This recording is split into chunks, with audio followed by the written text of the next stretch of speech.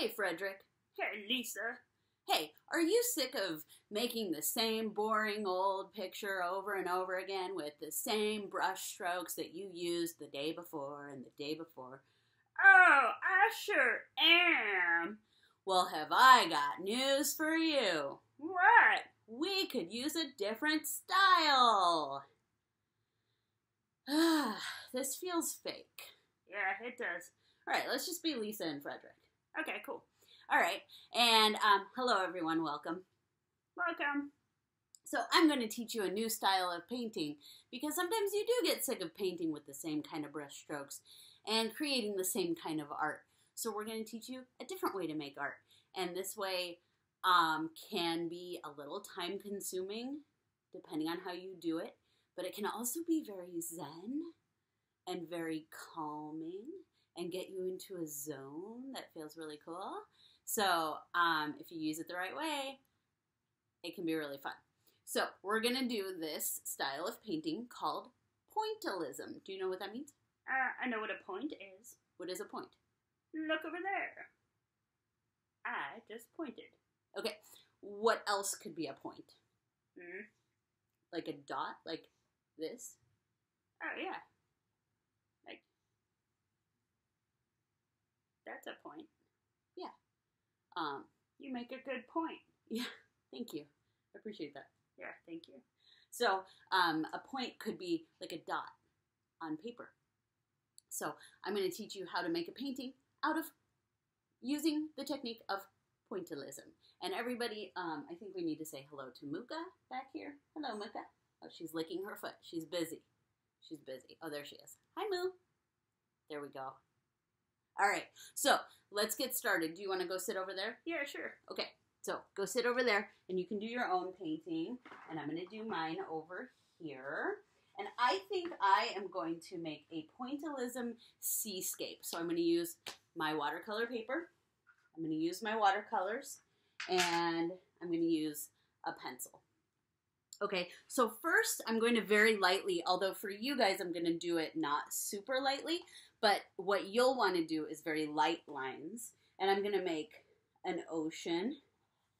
So this is a seascape. So if you've heard of a landscape before, a landscape is a picture of land. So a seascape is a picture of the sea. That's right. Okay, so we're going to do this. And then I want to have a dolphin jumping out of it. So I'm going to draw a dolphin, which is basically just an arc. And then a little nose that's got like a bottle nose kind of thing and then a little chin underneath that, and then another arc to kind of match up that kind of almost closes off at the end here. And then we've got a tail, but it's like a fin.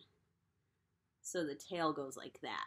Okay? And then we have to draw the fins, which are like this and like that.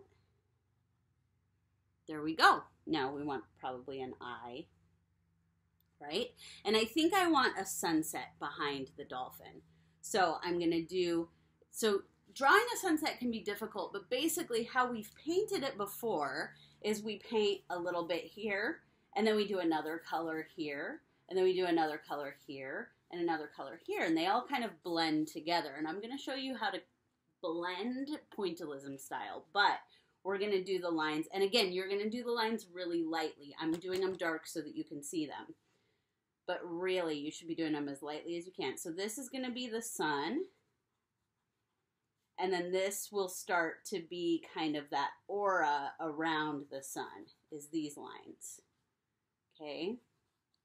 So just keep drawing out. And you can draw whatever you want, however you want your seascape to look. Maybe you want it all underwater. Maybe you want it all above water. I'm also going to do the ground at the bottom of the ocean because there's always like sand and rocks and stuff down there. So this is my basic drawing. And now I'm going to show you how to use pointillism to fill it in. So if I want to fill in my ocean, I'm going to use ocean colors. But the ocean is several different colors, right? The ocean isn't just blue. There's also some grays and some sometimes greens and purples and all kinds of stuff. So I'm going to start with blue, with my blue watercolors. And with pointillism, instead of going like this with brush strokes, we just do a dot and then another dot and then another dot. And notice I'm not pressing down really hard on my paper. I'm pressing really lightly. I'm going to show you from the side if I can. Here we go. I'll show you from the side. See how lightly I'm pressing so my brush doesn't go like that. It just goes like that. Okay, I'm making little dots. And I'm going to do that over and over and over again. And I'm just going to do one little section here so that I can show you how to blend colors in, okay? So I have my blues there, right? And then I want a little bit of green. And instead of blending with brush strokes, we're just going to add a little bit of green in between the blues. So now it looks blue-green with the dots, right? And now it doesn't really show up super well on camera, but I promise it looks good. And then I'm going to add some purples in there. Like that. Just to vary it up a little bit so that it's not all blue ocean. So there we go. See how it's like varying colors? So then at the bottom, I'll do the same thing. I'll use colors that would be on the ground in the ocean. So sand, I can use some browns, right? I could do some brown. And then I can clean off my brush really well, go into some yellow, because sand is kind of yellow, right? And then do some, oh, that looks green. I didn't clean my brush enough. Or I didn't clean my paints might be the case actually. There we go. That looks yellow. All right. So there is my ground. All right. And then for the sunset, I'm going to do that same kind of thing. I'll start off with the sun, which will be yellow. And I would fill that whole thing in with dots. And then outside of that, maybe we'll go orange. So get that orange nice and wet. Really get it in there. There we go. And so this outside of the sun is going to be orange, and I would do that all around. I would fill in this whole section with orange, and then maybe I move on to red, which is another color that we can use for sunsets, right? Maybe we have red around there. And then after that, I could do like a purple on this one. And I'm going really fast. You don't have to go so fast. You can take it slow and make them really uniform if you want to. Make them really pretty. And then on the outside, I'll probably do blue for the sky.